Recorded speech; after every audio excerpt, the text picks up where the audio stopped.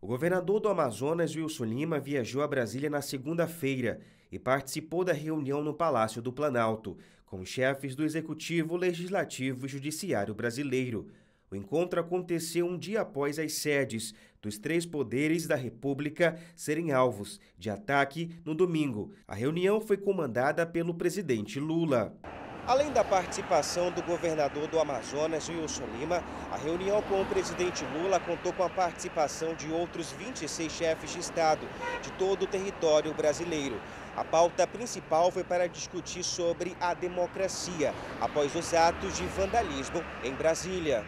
Temos aqui todos os governadores para reforçar esse compromisso que a gente tem com respeito à democracia, o respeito é, às instituições. O prejuízo que aconteceu em Brasília não foi só material, mas acima de tudo deixa uma mancha é, na história do nosso país.